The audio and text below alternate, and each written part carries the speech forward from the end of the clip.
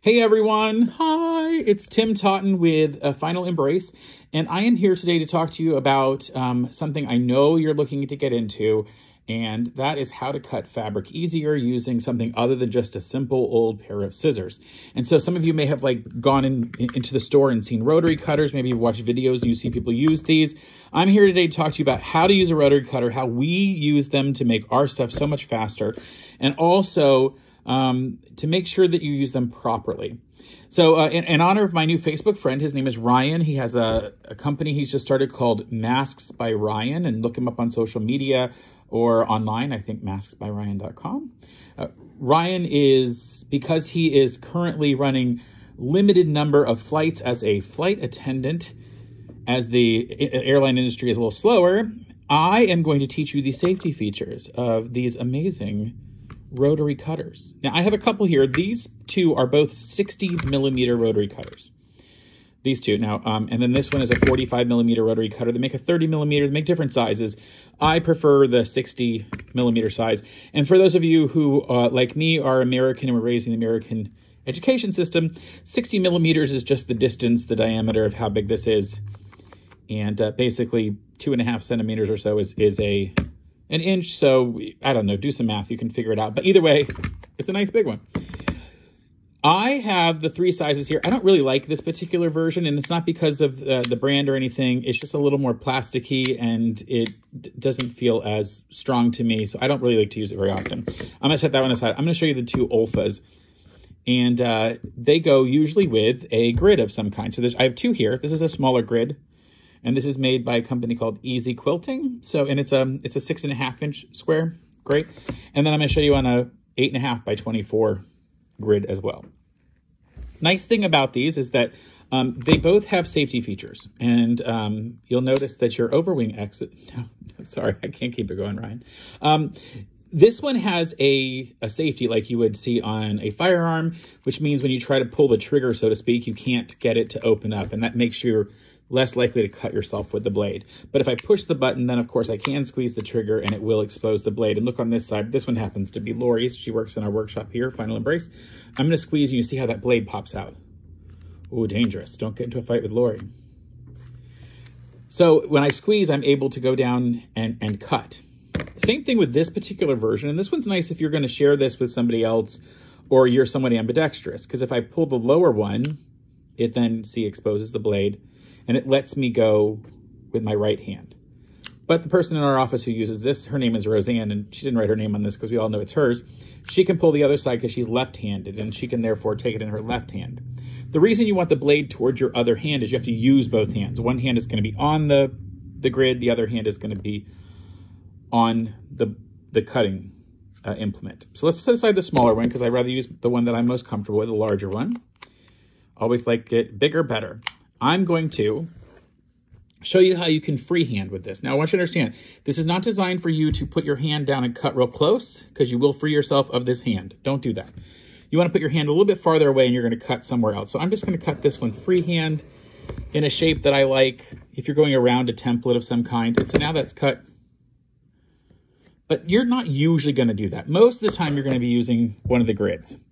Let's put this grid out of the way for a moment. I'll use the smaller one let's say I want, I know I need a line across here. So I'm going to put that down and I'm going to cut along the side. I'm going to put my hand down to hold the fabric and the grid together. I'm going to open up, put it below the fabric. So I'm going to start down here at the edge where the fabric kind of meets and I'll cut past it. I'll leave my hand holding this and then pull the fabric away.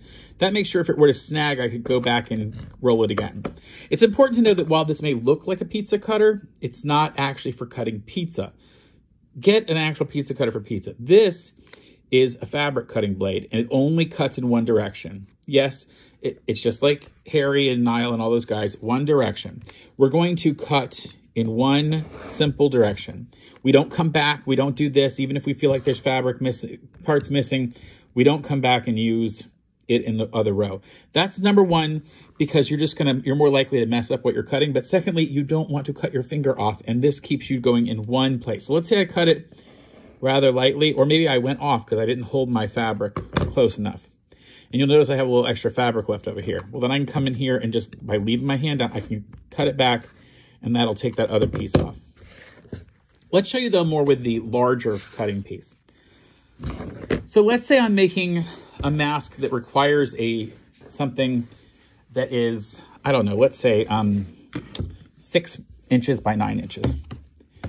I have a nice straight edge over here, but if I didn't, I would have to straighten it up first. But let's say I'm gonna use that nice straight edge on the side, and I'm gonna use my cutter. This one's eight and a half inches wide. So I can probably get six inches out of the width here and then cut nine the other direction.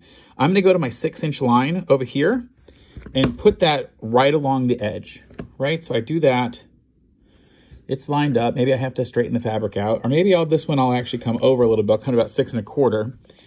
And I, I, my hands are not big enough to cover this whole thing. If I left my hand way up here and started cutting down here, I might push this out because you do have to push over a little to keep yourself on there. So I'll put my hand down at the end. Remember, I got plenty of room between my hand and the edge here. And I'm only going to cut along the fabric from my thumb up to my tallest finger because I can put pressure. I'm putting pressure straight down and I'm going to put pressure down with this and in a little bit. So I line it up next I'm going in a little and I'm going to go that way and going down. I only go to the end of my fingers. I'm going to leave the cutter right where it is and leave the base right where it is. And I'm going to walk my hand up farther and cut the rest of the way. Then I'm going to leave my hand down on the fabric and pull this piece away. Okay, perfect. It's been cut properly. But it's still a little over the eight because I wanted this a nice straight edge. So I'll turn this thing around and I'm going to come in and put this to my six inch mark. Did I say eight earlier? I don't know. I always like bigger numbers. So we go here to the six. It's all lined up directly along there, all the way lined up. Now I've got a little bit quarter of an inch left over. Cut that off. Perfect. Now I've got to get my nine inches the other direction. So I'll turn this sideways. Now I don't have a straight edge over here, obviously, because it's actually a serged edge. So let's go, and here, the interesting part about this one is I don't have a nine inch wide ruler, but if it was, I could do that. I'm gonna go here to nine inches along this way and put it about nine and a half or nine and a quarter. And this time I'm gonna line up the bottom line here. See these lines? I'm gonna line those up and I'll just chop off here. So I'm gonna hold it out of the way, flip it around, now I'll line up the nine inches that, are, that is over here. I'll line up nine inches along the edge. And by using one of the lines this way as well as this way, it makes sure I've got a 90 degree angle. Hand down to hold it, cut off. Perfect. Now I have a six by nine square that's been cut out, or rectangle. It's not a square. Squares have the same size each side. Now the other thing to that you might want to do on your grid is uh, you'll notice on this particular grid, the small one, it doesn't have any feet or cushioning on the back. And sometimes it can slide around really easily. So it can make it harder for you to cut if you're brand new. We have found these little pieces that are like, they're almost like little sticky feet. And you can put those on so that when you put that on your fabric, it really holds. This is not going anywhere. I'm having to really push it to get it to move. So those are the safety features of these amazing rotary cutting devices. Hopefully, if you put some band-aids near you, you're probably still going to cut yourself accidentally because they are Mondo super sharp. But maybe this will help you be a little safer when you're cutting with a rotary cutter. Bye for now.